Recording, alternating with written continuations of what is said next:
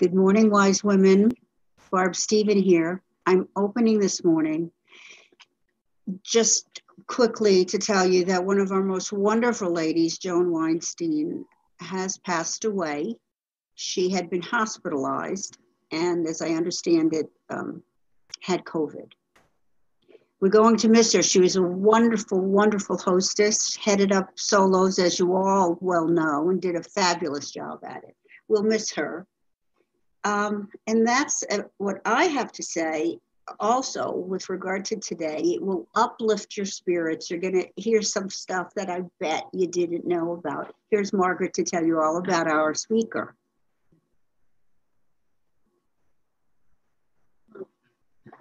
We're so pleased to welcome Dr. Richard Prum here today. He's graciously agreed to talk with us about his work and highlight things from a book some of you may be familiar with, where he discussed the evolution of beauty, uh, which came out of his work as an ornithologist. Uh, he's the William Coe Professor of Ornithology at Yale. He's a well accomplished person, head curator of vertebrate zoology. I'm getting this all right. at Yale Peabody Museum of Natural History. He's recipient of the MacArthur and the Guggenheim Fellowships, and he's a well published author and researcher in ornithology. So turning it over to Dr. Prum, thank you so much for agreeing to speak with us today. Thank you. Great. Well, thank you. Uh, thanks first to Barb and, and to Margaret uh, for the introduction and for the warm welcome. It's, um, it's a, uh, a pleasure to be here today and uh, a distinct pleasure because uh, in fact, uh, when I was first intending to uh, speak, or when I was first scheduled to speak, was in last March, and it was the first event that was canceled due to the COVID pandemic, and it was just in, in early March.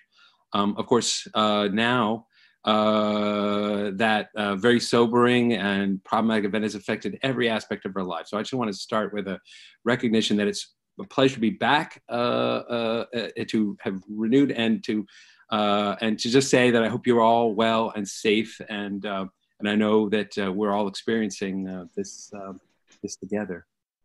Well, what I want to speak about today is an outgrowth of my work in ornithology, and really about the evolution of beauty. And when I mean beauty in this context, I don't mean beauty merely as we perceive it, but beauty as the birds perceive it. And in actually to this research is dedicated to the scientific idea that birds are beautiful because they're beautiful to themselves. Uh, and so there I've given you uh, in a nutshell, but uh, we're going to elaborate on what that what that means. Now, um, th- this really is.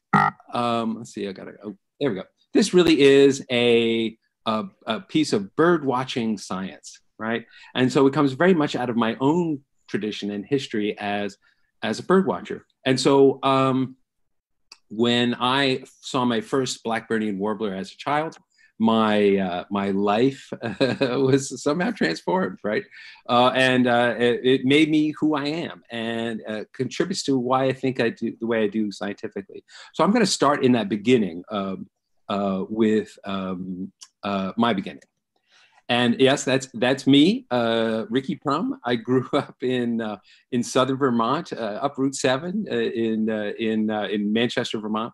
And this is me in I think seventh seventh or eighth grade, school picture day. And this is a pictures humorous in many reasons, but of course, what I want to focus on, of course, is the glasses. the glasses are a critical part of my story because when I got my first glasses in fourth grade at the age of ten um, the world came into focus, and suddenly, within a few short months, really, I was a bird watcher. And what that meant was that I somehow knew that I would be pursuing a bird filled life, that I would be studying birds. I didn't actually know what that would mean. Uh, and so uh, ultimately, I pursued ornithology and evolutionary biology in, in, in, for uh, my education. Uh, and as an undergrad, I actually discovered that evolution was the area of biology that was about what my bird watching had made so fascinating to me, which was the diversity of birds and their uh, um, uh, uh over the planet, over uh, uh, habitats, etc. And so that led to uh, graduate work. Uh, in here I am in Ecuador in the 80s, uh, recording bird songs in the high Andes, uh, and ultimately uh, I ended up at Yale. Here's my rather messy office where uh, science, where all the science gets done. Right. So. Um, that's that's how I got here, right? But indeed, a huge amount of my science has been dedicated to study um, something that I didn't think of as a scientific topic, but which I've come to think of as a scientific topic, which is, I said, the beauty of birds, right? And that's led to a whole uh, diversity of different kinds of focuses, focuses, so including the evolution of feathers, the evolution of these very colorful feathers, such as this uh, bird. And um, when we think about the beauty of birds, especially the beauties themselves, we have some enormous challenges uh, birds aren't really so beautiful, right? Uh, and and and why is that? Well, to explore this challenge, I'm going to start right out with uh, with a, a, video. This is um, a recording, a video recording by my former student Ed Scholes, now at Cornell, and this is a bird of paradise, superb bird of paradise. It's a male, and he is going to he's making a courtship display to a visiting female. She's about to land on his log, and as you'll see, during the display, he is transformed in a, in a, in a sort of unimaginable way. Right? And this really demonstrates the um, uh, both the complexity and the uh, aesthetic um, intensity of right. This guy is uh, uh um, uh, has these elaborate feathers with these photonic devices uh, we've also been studying those super black feathers that surround it, etc. Right? But this shows the incredible complexity of those displays. Right? Now, um, um, the science upon which this is based, right, is or when we when we when we when we look at scientific questions around such displays, we have to recognize that we're really dealing, or the subject of our study is the subjective experience of animals. What that means is the there is an internal experience the animal is having uh, that affect biology that are not uh, you know epiphenomena, but the subject of science itself. So uh, here we have an array of you know relatively weird animals to us, right? Uh, the the bat which detects the world in a sonar um, uh, with a with a, a, a sonar sonar pictures. Um, we have the mole, which has a very complex olfactory world, right? These are extraordinarily different from the ways in which we perceive the world. And if we were studying these organisms, we'd have to take that into account in the this fish in the lower left is a mormyrid fish from Africa, and it actually senses the world with electrical fields, so it can detect sticks and rocks and other individual fish and prey items in the water, right? But they also sing electrical songs that vary in frequency and in tempo, uh, like music, but in an entirely different wave electromagnetic waves. And these are waves that we can't even uh, uh imagine, right? Or imagine what it would be like to sense them. Right? So, of course, when we look at the birds, uh, we can relate to them better because we communicate uh, uh, visually and acoustically, much as the birds do. And so, um, this uh, I want to emphasize the, the diversity of the kinds of subjective experiences, sensory experiences that animals have. But uh, uh, my own work is on one that we relate to quite well, which is the birds. Now, in order to make this aesthetic or beauty the subject of science, we need to make some uh, uh, definitions. So in my case, uh, I'm, a, I'm proposing that there's a special kind of evolutionary process that we call aesthetic evolution, uh, in which, uh, which is an emergent pro- uh, consequence of three things. First, sensory perception. The animal has to be able to perceive the signal. Uh, some kind of cognitive evaluation, essentially equivalent to do I like that or not, and then choice. Uh, and if that choice takes place on a heritable substrate, you'll get the evolution of features of the animal body or the plant body that uh, evolve because of their aesthetic functions, right? So that includes the, the, the beautiful uh, plumages of the cock of the rock, the song of the wood thrush, the, the feathers on a blue jay, um, and also uh, these uh, baby birds, the evolution of cuteness is, a, is an aesthetic evolution topic. Uh, these are baby very attractive to their parents, and flowers, flowers and fruits, which evolve uh, to attract the senses of pollinators and, and fruit eating birds or frugivores, right? Now, to bring beauty back into the sciences, I also have to come up with a scientific definition that beauty is not merely attraction, Beauty is a co evolved attraction in which desire uh, for uh, a preference and the form of the object that's desired have shaped one another over time. And it is mutuality between preference and traits, between the display uh, and preferences for it that drive the evolution of beauty. And actually, I think drive the aesthetic, uh, including in the human arts, right? So all of these details are not new to me. They actually trace back uh, uh, in, a, in, a, in, a, in an interesting way to the work of Charles Darwin. Uh, and uh, Darwin, uh, after uh, the origin of species, had a, you know some persistent problems. He he had no theory of genetics. He had no theory of, um, of human uh, origins, and he had no uh, uh, hypothesis for what he called the, the origin of impracticable beauty. And as you see in this, in this, uh, in this uh, slide, um, uh, Darwin wrote to American botanist Asa Gray after the origin of species, where he said, The sight of a feather in a peacock's tail, whenever I gaze at it, makes me sick. right? And I think you'll agree if you look at Darwin in this picture, he looks a little sick. Uh, and that's because Darwin was kind of a troubled guy. Uh, he took his intellectual problems very seriously uh, and mulled over them for years. So he was a slow scientist, but in many ways, very revolutionary because the thoughts he had were indeed revolutionary then, and they, and they still are. So beauty was a big problem for Darwin, and he came up with a novel solution. Instead of resting on his laurels as the most famous Victorian scientist uh, uh, of all, uh, he actually produced a second book, which he called um, um, The Descent of Man, which addressed two of these questions uh, origin of humans and the origin of beauty. And um, in that, in that, uh, whoop, in that uh, book, he, he proposed the mechanism of sexual selection right? Which include uh, two different kinds of of of, uh, of uh, possible um, uh, mechanisms. One was mating competition, uh, con- uh, competition within one sex for control over the other sex, usually male, and usually giving rise to the evolution of armaments or large size, like antlers, right, or large body size.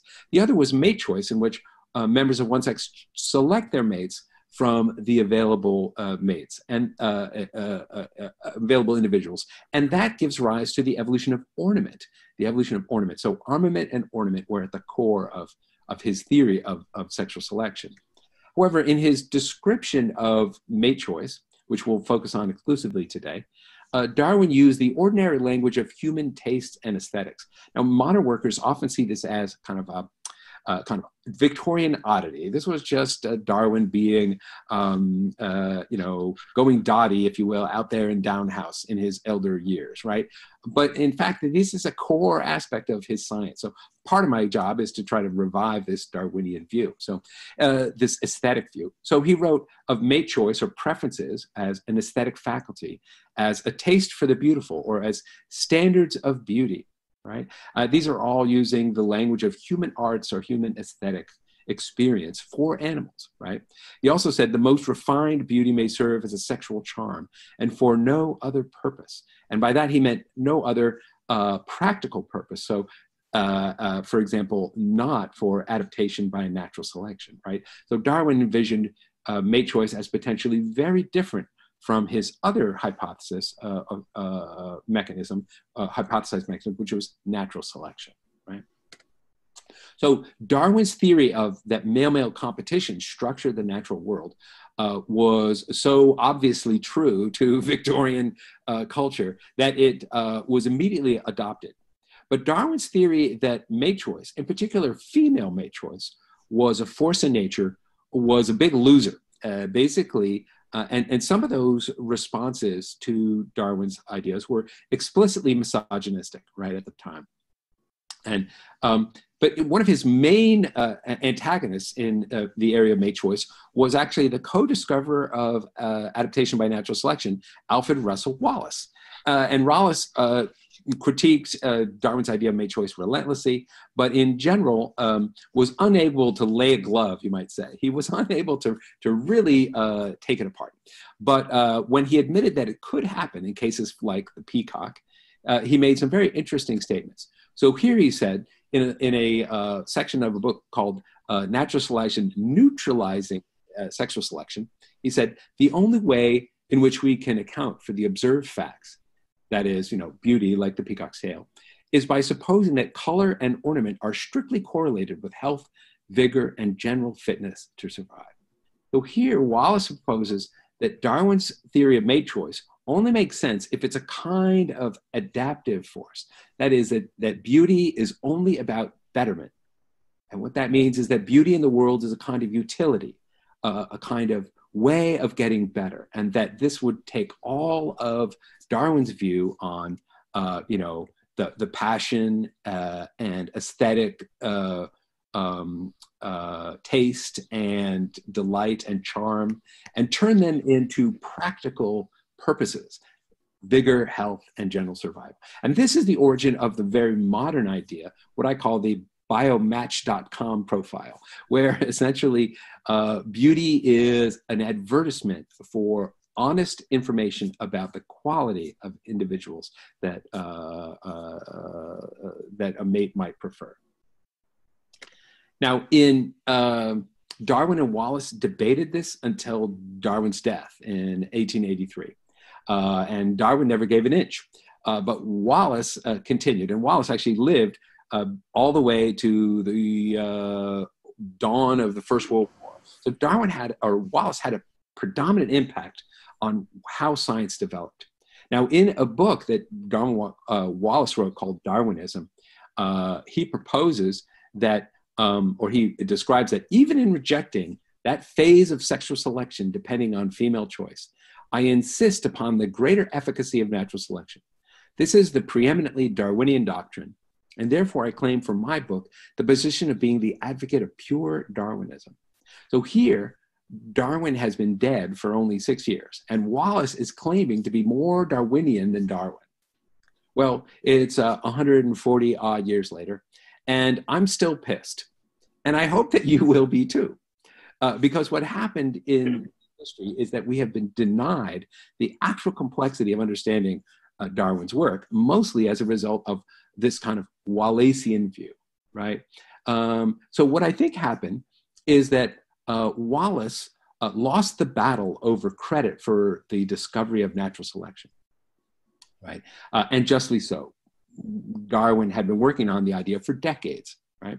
But he won the war over what evolutionary biology would become in the 20th century, which was an overwhelmingly adaptationist uh, enterprise. That is, one dedicated to the greater efficacy of natural selection and also to the insistence on it, right? And in fact, uh, this flavor of this quote characterizes lots of scientific reviews to my recent book. People still uh, believe in, in, this Wallacean, uh, this Wallacean view, right? Um, so in order to drive this home, I'm going to compare, give you a uh, an analogy that you can describe at the breakfast table or to your friends at a socially distanced bridge game, hopefully over the web, uh, uh, or uh, over your next Zoom call. But um, I'm going to compare the value of beauty to the value of money. Where does value arise, and how does it arise as a natural process? Right. Well, we know that under the gold standard, the value of money exists because of the gold.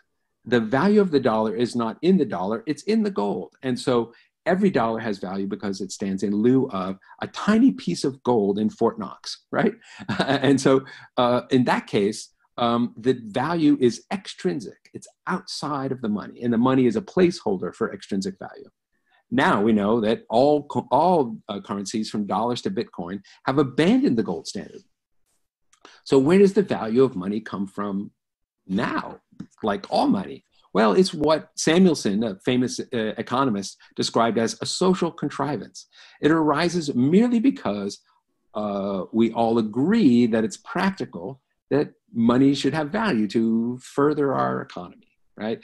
And, and so in this case, the, the value of the dollar is intrinsic. We create it through our investment in faith and in the money, right? So as a comparison, my uh, scientific colleagues are on the gold standard, the Wallaceans, right? They believe that the value of the peacock's tail, that beauty is valuable because it stands in lieu of other things. Those other things are uh, good genes, um, uh, protection from sexually transmitted diseases, or better territory, right? Material benefits, real benefits, right? And uh, they're on the evolutionary gold standard. But uh, uh, the Darwinians, and, and I'm advocating, um, that we should abandon the gold standard in science and that beauty is for its own sake. That the value of beauty is, to the peacock is that it's attractive and that that drives, in and of itself, that desire drives the, uh, the evolution and diversity of beauty in the natural world. Well, uh, in a scientific framework, I call or summarize this argument as beauty happens. what that means is if there's um, sensory perception uh, some kind of cognitive evaluation do I like it or not? And some opportunity for choice, then beauty will evolve in the natural world. It is independent of uh, adaptation by natural selection and a force in nature. Right? Now, I want to show a few examples of extreme beauty to side of uh, um, how beauty happens uh, to, to, to drive this home. And this one is the Argus pheasant. This is a, a bird that's found mostly in, um, in uh, Southeast Asia, Indonesia, uh, and outlying islands. Uh, this is actually taken in a zoo. And the pheasant, uh, to begin with, the male is about six feet long, uh, but he's uh, mostly drab brown. And there's the female. He's going to be displaying to the female in hopes of encouraging her to mate. And you'll see in a moment that he's actually Again, like the bird of paradise, his display is characterized by a transformation in his form. What he's done there is open up his wings to create a kind of blown out umbrella shape, a hemisphere that is suspended uh, along the side of the female. And that on each of those long wing feathers is arrayed a whole series of spheres. These spheres are not real, they're they're color patterns, pigmentation patterns, but they create this uh, sort of trompe l'oeil, this this appearance of of 300 or so golden balls suspended in the air. And notice that they're um, they're light on the top and darker on the bottom. Uh, in the same way that you can tell by the highlights uh, uh, shining on, off my head or off my nose that I'm three dimensional. This is a optical illusion created by the display you know, could watch this, uh, this tape a lot longer, but I'm going to proceed. Uh, here is an image of those feathers themselves. These are, you can see that little white highlight at the top of, or at the, on the upper side of those circles, which gives you the impression like, uh, like the shine off an apple, that it's a three-dimensional object, right? and then further, if we look at the entire feather, we can see that there's an additional optical illusion. If you uh, look at the feather just uh, directly, you'll see that this, the size of the spheres uh, scales with the size of the feather. As the feather gets bigger, the, the, the golden balls get bigger. Uh, but if you look at it from the perspective of the female, that is foreshortened, uh, where the bottom of the feather is nearer to the female's eye, you will see that it's these, these balls all converge on the same size. So we have two levels of optical illusion one that is the three dimensionality, and the other is the uniformity in size. And both of them arise without providing any information about extrinsic uh, possibility right? So uh, like is this die actually better? You don't need to be better to be more you know uh, illusory in this three-dimensional way right? And so uh, this kind of optical illusion is clearly about the aesthetic impact the impact on the subjective experience of the animals and has nothing whatever to do with information about quality right? So this is an extreme aesthetically extreme bird that i think wallace and wallace's theory uh, and the one that's prevalent in uh, in biology today uh, uh, would have trouble understanding now this is the song of uh, of another bird this is the club-winged manakin which i spent um, a number of years, or it's a member of a family that I have studied for many years. This male is, uh, is singing uh, to attract mates in, in an arena. Uh, the females will, like in Birds of Paradise, the females will visit, uh, select a mate, and then raise all the young on their own. So there's very strong sexual selection or mate choice operating on, on the song. What's fascinating here is that this song, this pick, pick, wing, is actually not a vocal song. It's made by his wing feathers. So this is a bird that's singing with his wings. Wow, uh, this uh, video is actually the work of Kim Bostwick, also now at Cornell, married to Ed Scholes uh, at Cornell, and they're met in my lab as grad students at the University of Kansas before I came to Yale. But um, uh, uh, what Kim showed in her dissertation was how that sound was produced. And this is a high speed video showing that the feathers are oscillating over the back. They've been snapped into place and then they're, they're, they're uh, uh, uh, uh you know, oscillating or vibrating, but very at only one, only 100 cycles per second. But the frequency of the sound is 1400 cycles per second. So a lot had to, we needed a frequency multiplier. So what uh, what what Kim discovered was how that feather, how that sound is made is a result of uh, the interaction of these two feathers. This is uh, what they call stridulation, uh, and this the the blade on this fifth, sixth, fifth secondary uh, feather um, rubs onto the bumps on the sixth secondary, causing a mechanical um, um, stimulus like bowing a violin or running your finger over a comb or uh, that, that creates the sound. So here we can see as, uh, uh, as the feathers oscillate from in to out, the, these blades rub on that feather, stimulating that feather or initiating that sound. That's amazing. This is the only stridulating bird. So that shows that beauty can be very novel. But in subsequent work, Kim showed uh, uh, or studied a very profound question. She asked, Is beauty only skin deep? And she was able to show that no, beauty is not only skin deep. In order to make these beautiful songs, the, uh, the skeleton of the, of the manakin has been transformed. In particular, the wing bones.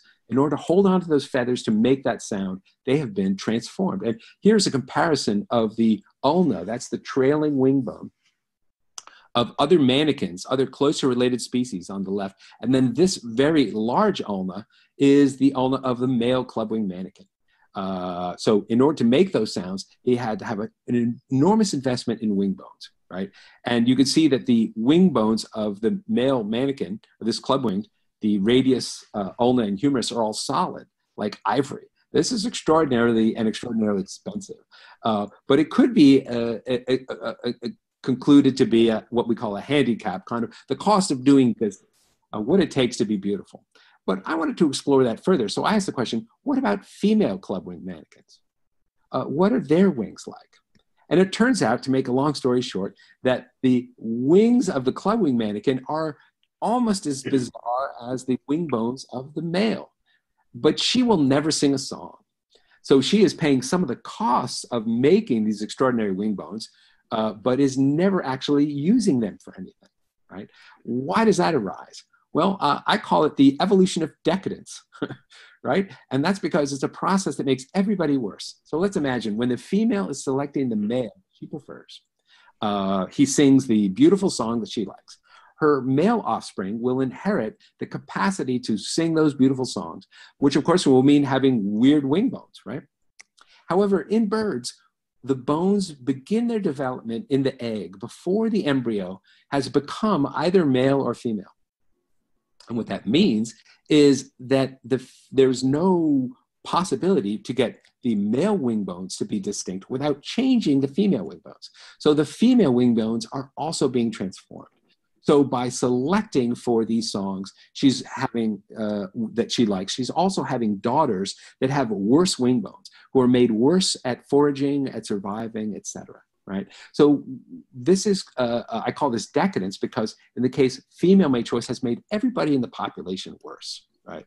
Um, and uh, at, at, some point, one uh, um, um, after the book came out, one uh, um, journalist was asking me, "You seem kind of delighted at that prospect," and I said, "Well, maybe a little bit, but." the reason why this is important is because in fact, when natural selection and sexual selection are working in opposite directions, when sexual selection make people make all these organisms less able to survive, that's when you realize that Darwin was brilliant in understanding that these are different evolutionary forces. And that's a lesson I'm still trying to bring uh, to the scientific community today. Well, I hope I've convinced you that there's an aesthetic element in, in, in, in, in evolutionary biology, that uh, birds, uh, are beautiful to themselves, and that by pursuing this beauty gives rise to a whole diversity of things that we also think are beautiful. I call this aesthetic agency. That means that the organisms themselves have choices that allow them, that they have preferences that they, pref- that they pursue, and that, that gives rise to the evolution of beauty itself. But I'm going to uh, uh, uh, connect this, try to connect this with some topics that I think are really interesting, which is that since we study agency, we were very well prepared to understand um, what happens when agency is infringed. And that uh, raises the very problematic but fascinating topic of duck sex. Um, and so, uh, a word out that this is uh, uh, what what uh, what they would call in the university today a trigger warning. This is actually some um, duck sex is deeply problematic and and troublesome, and yet uh, instructive in a really important way, uh, which is why I share it with you. Now, um, uh, ducks, most ducks uh, have a, or ducks have a traditional breeding system that you would, un- that people broadly appreciate. Females, like this mallard, uh, choose males, uh, their mates, based on their displays and their beauty. And they have preferences for those. So that includes preferences for the green head and the quack, quack, quack, and all the displays they do.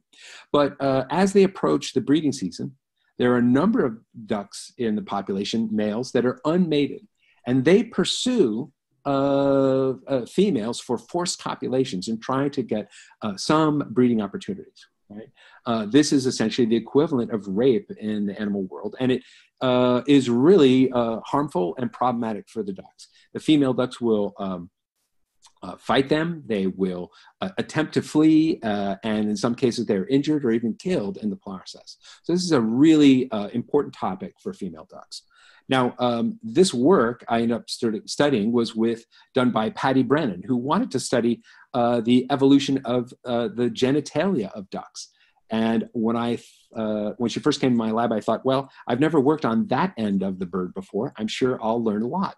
but in fact, what I learned from Patty through this research transformed my view of evolutionary biology in a way that I never experienced. That's what I want to share.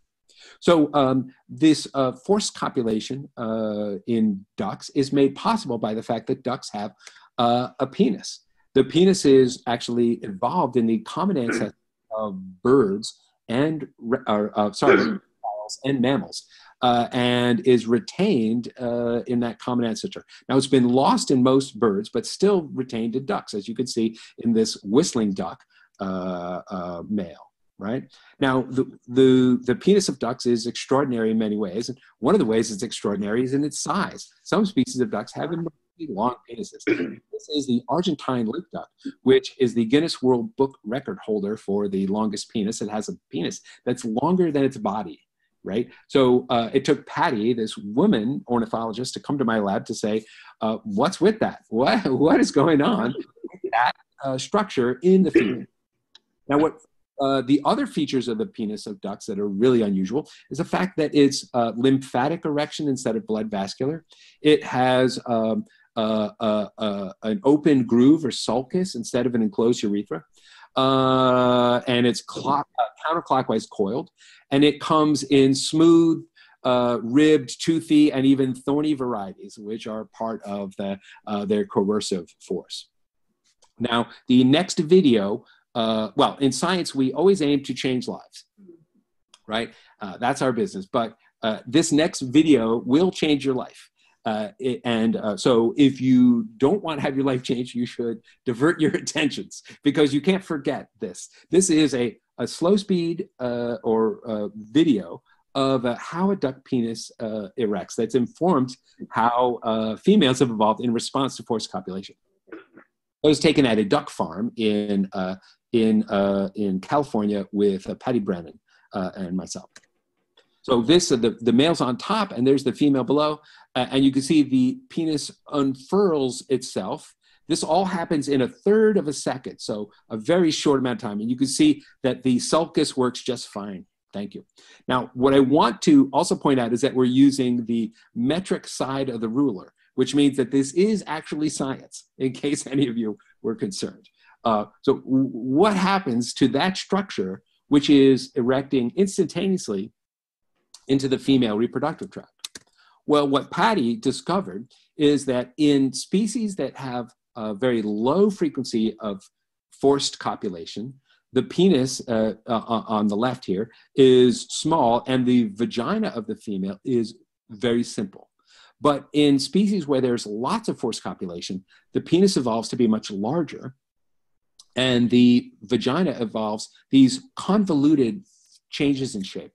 What are those changes? Well, the first is a series of blind uh, cul-de-sacs off the side of the main passage uh, uh, to where the uh, where the eggs are produced, right? And then upstream of that are a series of clockwise spirals.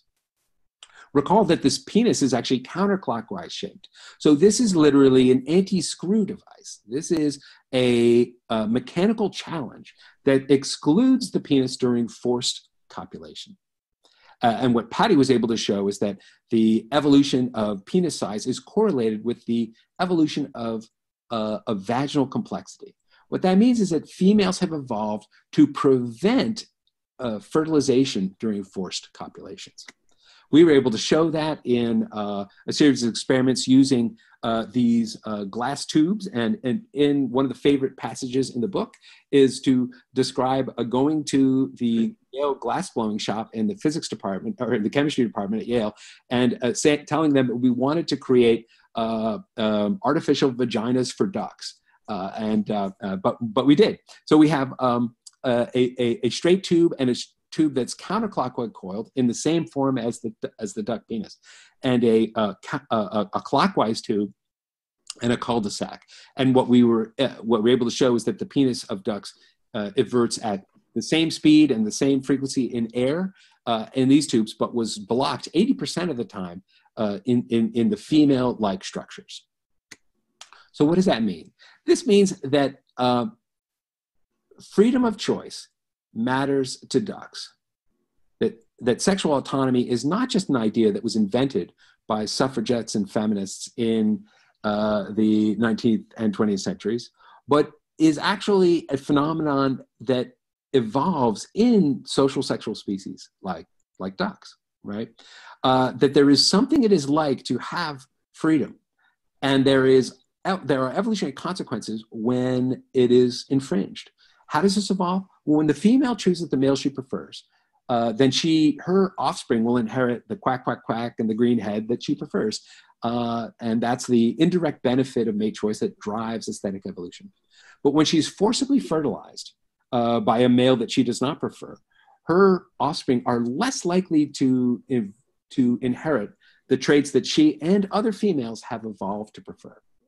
What that means is that that is an indirect cost, a genetic cost, in, in terms of, uh, of, of sexual coercion, sexual violence in this case, right?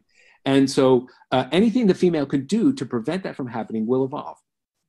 So by evolving more uh, complex vaginal structures, the female is able to advance her own capacity to control who is the father of her offspring, right?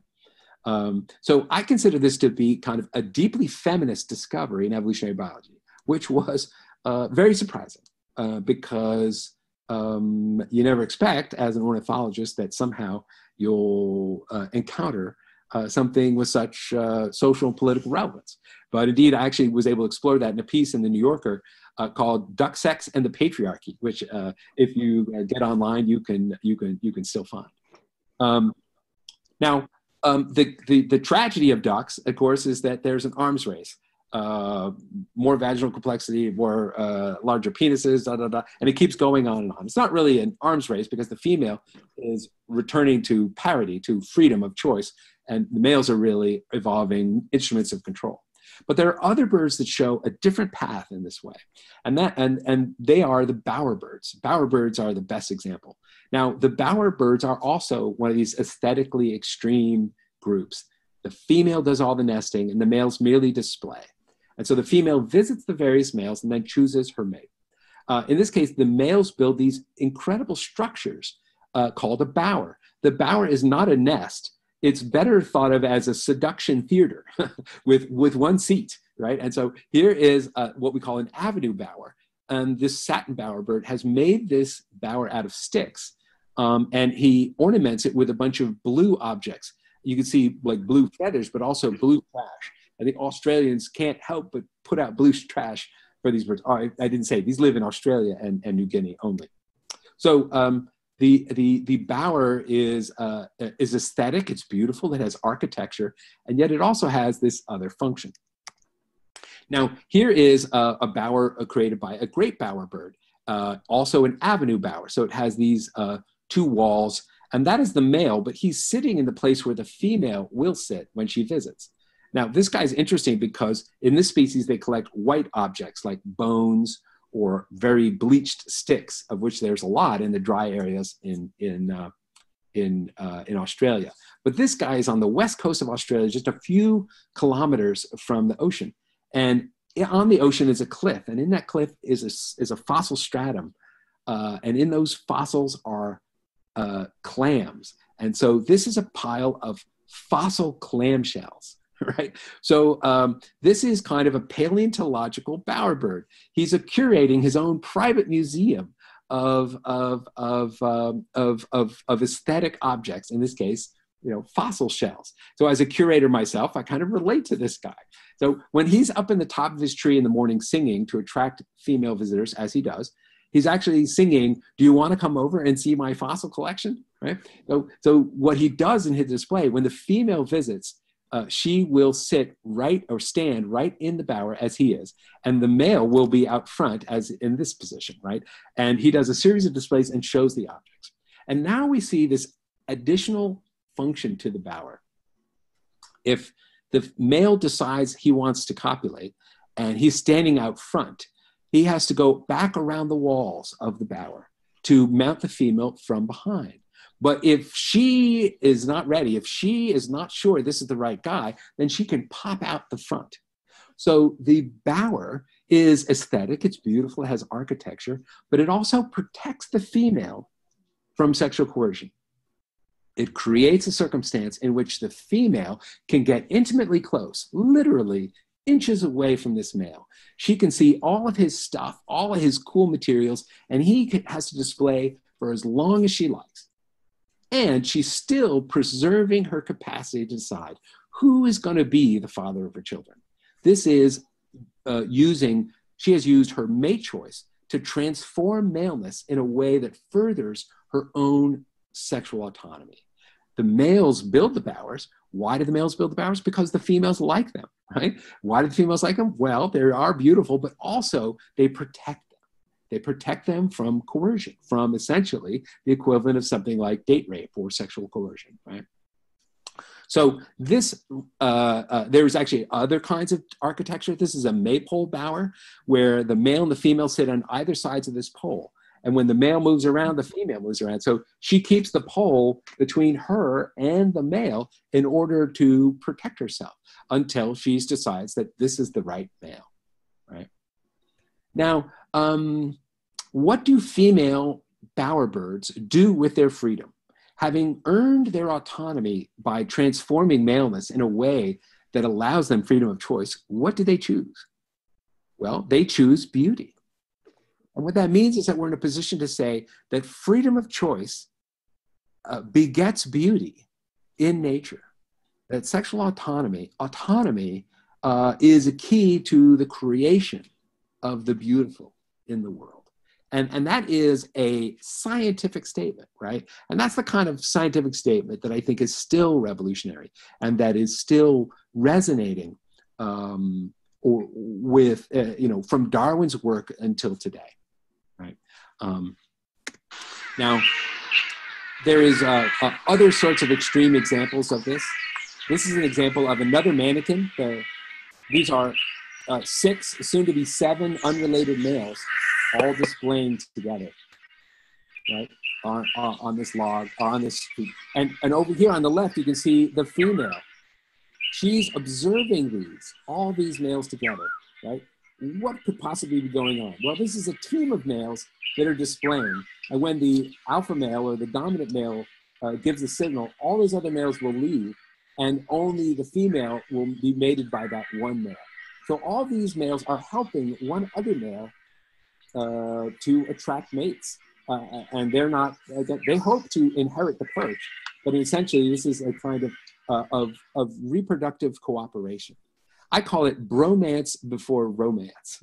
Now, other science has shown that the best predictor of, of male success in this group is not um, how um, uh, dominant or aggressive or uh, uh, uh, uh, socially in charge you are. It's how many friends you have, right? So female choice for aesthetics, something they prefer, uh, say group display, has led to a transformation of maleness into a cooperative form to allow males to cooperate.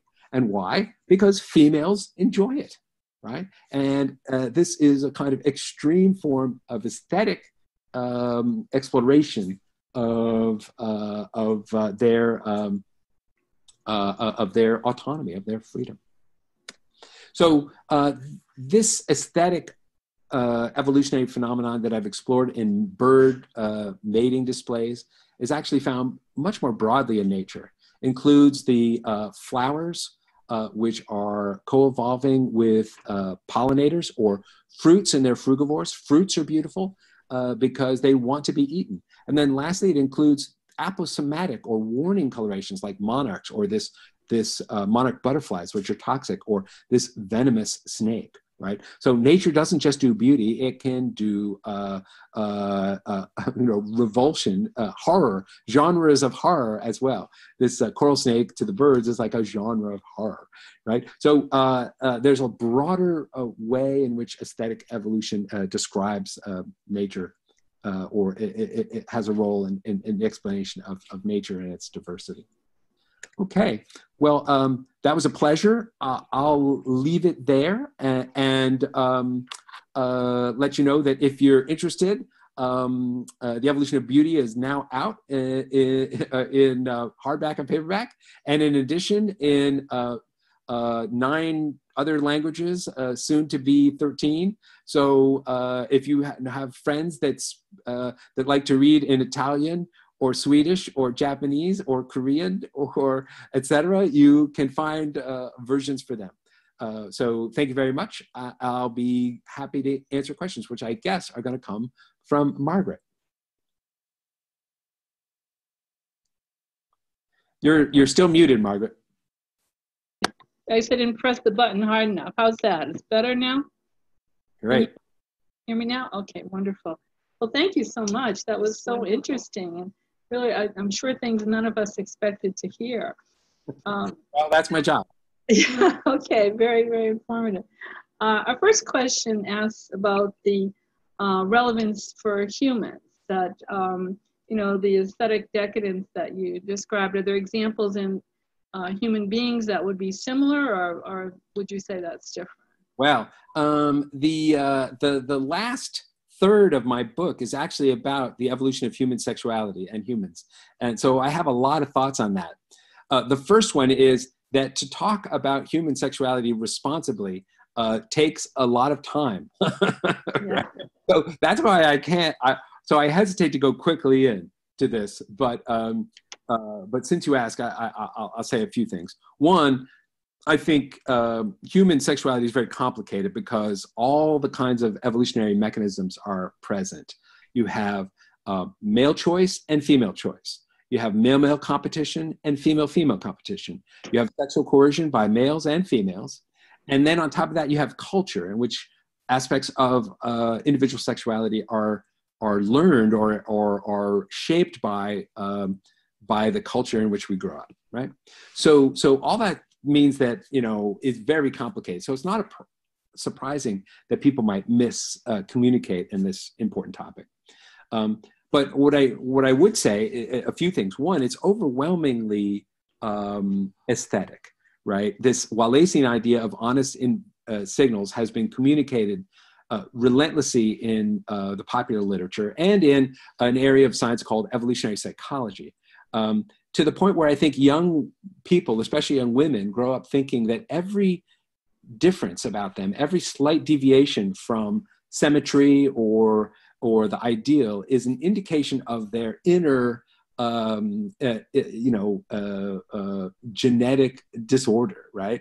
And there's this idea is such a bad science; it's been rejected in in in birds, and it certainly is true. So what I hope is that this aesthetic view helps us create, a, you know.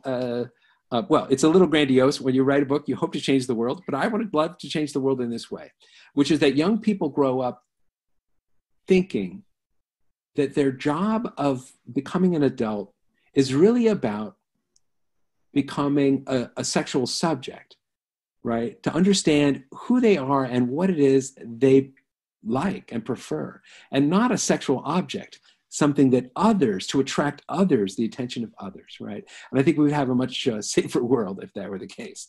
Um, the uh, other thing to note is that the, the science of Wallacean adaptation cannot describe sexual pleasure and its origin. But um, uh, so there's a chapter in the book about the evolution of orgasm, uh, in particular female orgasm, which I think everyone will find fascinating, especially the Y's Women of, of Fairfield County. And so, uh, so I recommend that to your attention. So that, that's where that's where I'll leave that. Thank you very much. We have a similar question um, about the applicability of, of your study to other mammals, you know, other than humans. Uh, would you see that as similar if we were to look at um, a sample of another? Um, well, I'm an ornithologist, so so I, I, I don't apologize for my bird centric. But you're right. There's a good uh, my bird centric worldview, but there's a very uh, interesting uh, issue of like how broadly does this apply. Um, in in in in in most mammals, uh, females are doing an overwhelmingly large part of the of the investment, right? and they do have some uh, extensive, in many species, extensive choices. Um, um, in particular, bats uh, have a lot of mate choice, right? Uh, because bats fly around like birds. Um, but in, in, many cases, uh, there isn't a lot of choice. Uh, so if you think about um, um, seals or or uh, you know deer and bison with antlers, uh, you know, there's a, there are uh, lots of circumstances in which there's not mate choice. Uh, and this, uh, you know, prevents sexual selection or, or mate choice from uh, giving rise to, to beauty. Um, one thing that we can say is that probably a lot of mammalian beauty is olfactory, right? It's about chemicals, it's about smell. and of course, we know that most commercial pr- perfumes of any note include actually extracts of mammals, right? Whether it's mink or musk or these, all these things. Uh, so we retain a little bit of this, but we don't have enough. And so we don't really understand uh, olfaction very well. And that makes it hard for us to study. So I think that the beauty of mammals is understudied. Uh, and um, if we were had the olfactory capacity of that mole that I showed, uh, our science would be based entirely on olfaction, and we wouldn't know anything about blue, green, red, or whatever, because uh, those those mammals are also colorblind for the most part. Okay, our next question concerns the relationship between your work or this work. Anyway, I'm sure you have a lot of other work as well, but uh, you're looking at behavior for, for birds and when we talk to hobbyists, you know, bird watchers, birders, uh, at least the ones that uh, I've known, they talk more about looking at the physical characteristics, you know, the coloring, the markings, the sound, and so on, um, or the number of different species they've been able to observe. We don't typically hear them talk about anything behavioral. Uh, is that changing at all, or do you, do you think that? uh, I, I, I'm not going to criticize those people because I'm, I'm one of them too. so yeah. I love to see a new bird, a rare bird, you know, the first bird of the year, the last bird of the season, uh, a new bird from my feeder on the back in my backyard, right? So I, I appreciate that. So this work is totally compatible with that. But what I really would uh, hope happens, and it certainly affects my science, certainly affects my bird watching, is uh, what I describe as kind of deep birding, right? Where when you're watching the bird, you're actually thinking about its evolutionary history, uh, how it got that way, uh, how it differs from its relatives, etc. So, so I think this can be a real augment to um, to our uh, to our experience of birds in the wild. Um, our next question refers to individual differences. When we talk about human behavior, we talk so much about all the differences among us. Um, is that just our human centric way of looking at the world, or do you think birds have a wide range of differences in terms of things like attraction, how they look at beauty, and so on, or is it more uniform? Yeah, well, you know, um, uh, there are aspects of uh, human biology that make us a lot more variable, right? One is mm-hmm. culture, the fact that we learn our preferences and that we're shaped by our cultures. But it turns out that there's birds that have culture. Uh, that are equivalent. So the birds, uh, a lot of birds learn their songs from other members of their own species. So that means that the birds in Boston, New York, and Chicago sound differently from each other for the same exact reasons that the people do and and it's and it's not about you know the baked beans in Boston or or you know uh, differences in you know uh, the wind in Chicago. It's about culture, just isolation by distance, right? And and differences arising and giving rise to to these differences, right? So uh, in those species, actually. Um, females also grow up in certain environment and they and they will prefer the local dialect to dialects that are from a different different place right um, and so uh, we do have some aspects of this individual variability. Now, what we can say is that when you, I've been focusing in my talk mostly on what I call, you know, aesthetic extremity, really, really amazingly uh, extreme forms of animal beauty, right?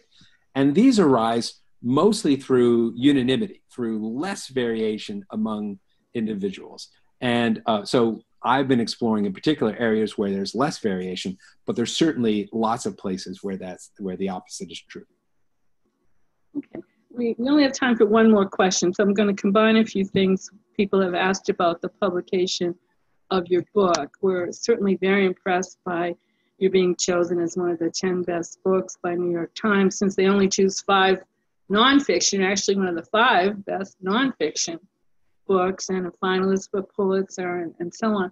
But when we look at the list for most years, we see a lot of memoirs, biographies, uh, social issues, you know, somebody talking about um, some of the social strife we have with racial groups, or um, I'm sure there's going to be a lot coming out in the uh, next few years about this election, for instance.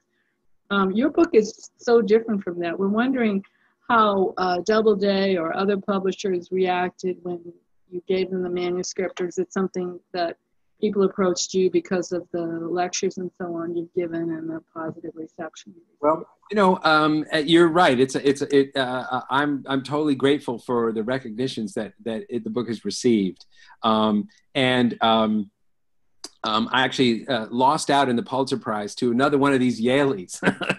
okay. I know we're on St. Ronan and, and, in New Haven, and yeah.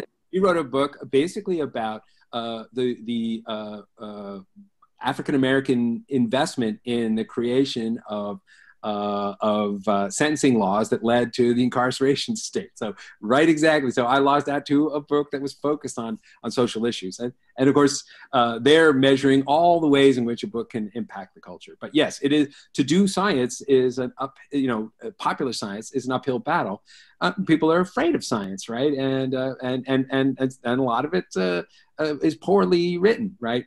but when I submitted my first part of um, of my uh, um, uh, book that I wrote was uh, uh, the beginning of the duck sex chapter. It was the duck sex chapter, uh, which begins at, at, a dinner table, a dinner party in New Haven, where some uh, mom uh, of young kids asked me about make way for ducklings, and and and it was a real it was a real event. And uh, my wife said, "You didn't just ask my husband about duck sex, did you?" And uh, and the whole party burst into a discussion of this research that I've just presented. Right. So uh, that was my first one, and I knew, uh, you know, that it was a good representation of the way we could try to take science and make it uh, familiar, relevant to people's lives. Um, I love the hardcore science, getting into the nitty gritty of the arguments. Um, but uh, you know that's boring for most readers. So the challenge was to figure out how to how to get um, um, people in into the story behind the story. People who don't care about birds or people who don't care about science but may like birds right? Uh, and um, and i think beauty was a real selling point. And uh, they had faith in me. I also had some fantastic editors uh, that really really worked with me to make my writing better and uh, the way to have a good book is to listen to your editors uh, they saved me from myself uh, and and and helped make this book so great well, we're certainly happy they did, and happy that your book did end up getting the recognition it deserves and, and getting the, the, wide circulation it has. So we are about out of time. So I am going to thank you so much. Well, thank you very much, and thank you for for persisting. It's great to. Uh, yeah, yeah we'll, we'll, we'll consider this meeting we, we can actually pick up from where we left off last March when the pandemic occurred. And goodbye to all the Y's Women. We're so happy you could join us. We are going to be meeting, you know, a regular schedule every second and fourth Monday till the end of May, and hoping, of course, we all get back to normal at some point. So get your vaccine when you can, and we'll all hope we're well and, and survive another year. Stay safe. Bye bye.